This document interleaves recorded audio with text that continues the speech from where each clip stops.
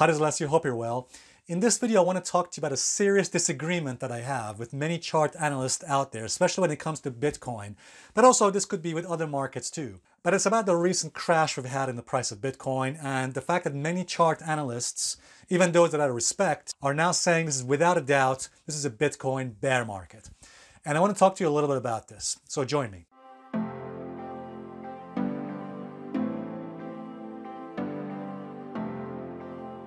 All right, guys, welcome back. Before I start, I just want to, first of all, again, thank you so much indeed for getting us to a 300,000 subscribers. We just recently went over the 300,000 subscriber uh, mark. So again, guys, thank you so much indeed for watching my videos and supporting this channel. Your loyal viewership means a lot to me. And thank you very much also to those of you who regularly click like and also comment on my videos as well. I really appreciate it.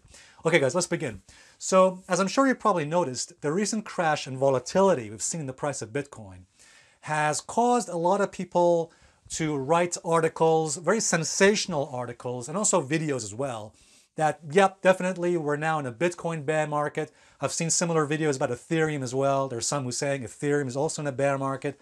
And I want to talk to you a little about this. Now, I mentioned some of this stuff in a previous video as well. However, I think it's worth just going over this one more time and making my views a bit more clear. Because you see, what's happened is after Bitcoin dropped by about 50% from its highs to its lows, a lot of articles have been written, a lot of videos been made that Bitcoin is now, without a doubt, in a bear market. And by the way, some of these people who are making these articles and videos are people that I respect. I don't think they're bad people. I think they mean well.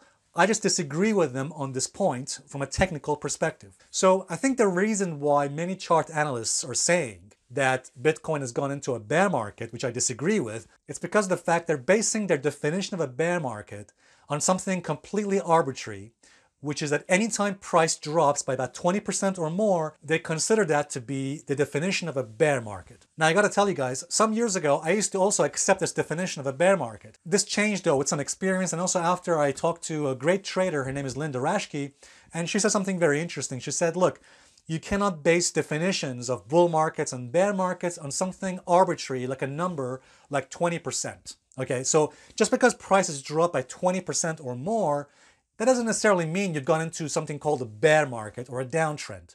In fact, we realized this the hard way last year in 2020. Do you guys remember? When the stock market, when the S&P dropped by 34% very quickly, that was by far the fastest crash in history and the shortest bear market in history as well. Because again, a lot of folks said at the time, last year in March of 2020, that that crash in the stock market, in the S&P, was without a doubt a bear market. The problem with that viewpoint is this.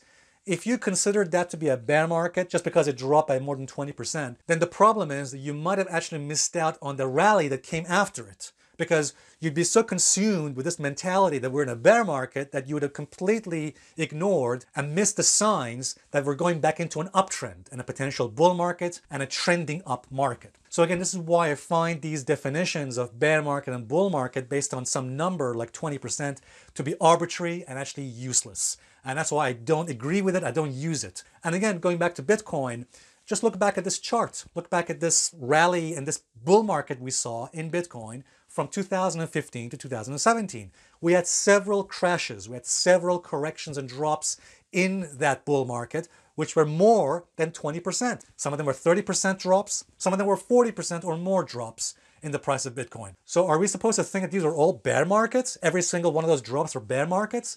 It doesn't make any sense. And besides, the structure of the price on that weekly chart looks clearly like a bull market, like an uptrend not like a bear market or a downtrend. The same thing is true with Ethereum. Even Ethereum in the previous bull market suffered a 69% crash, as you can see here, in the price. And you can see here, despite that massive crash, that drop, it continued that uptrend and that bull market. And again, to me, it's a perfect example of why such a big drop like that cannot by itself be considered as a bear market or a downtrend. It doesn't make any sense because it continued the bull market and the uptrend afterwards. So you're probably thinking, okay, well, if a 20% drop in the price is not a bear market, then what is? Well, guys, as I'm sure you know, I've already made a video for you, a very detailed analytical video for you as to what is a better definition of a bear market. If you haven't seen this video, go ahead and watch it. And all I would say to you is, look, for me, a better definition of a bear market is to look for a pattern, okay? To look for the price to actually persuade us that's going into a bear market. And the way the way price can persuade us that it's going into a bear market is not just some arbitrary drop of 20% or 30%, 40%, 50%. That is not very useful. What is useful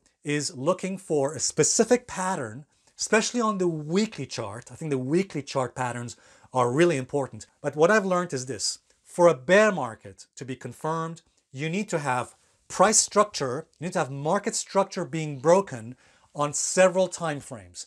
Not just the daily, not just the four hourly, but the weekly chart.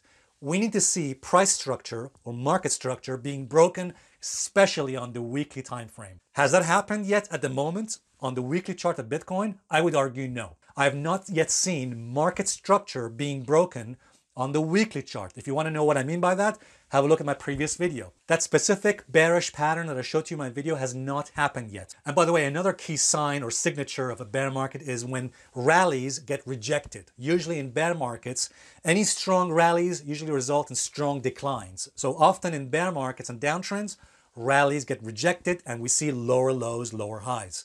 That is something we've not yet seen on the weekly time frame. If you look at a bull market uptrending structure, usually after a significant drop, you then see a jump in a rally, and then that rally sees follow through higher. Okay, the opposite is true in a bear market. In a bear market, after a significant drop, any rallies from that point on get rejected and they result in more declines. So in a bear market, you see rallies getting sold, rallies failing. So guys, keeping it simple, at the moment, I have not yet seen those two specific signs of a bear market on the price chart of Bitcoin. If we do see it, if price actually persuades us, if the price chart of Bitcoin actually proves to us that it's moving into a bear market territory by showing those specific patterns, then fine. Then we could be saying with a high probability, we're going into a bear market. But again, as I said before, I find these definitions of bear markets and bull markets based on some arbitrary number to be really useless. All right, guys, I hope this video helps and look forward to seeing you in the next video update. Cheers.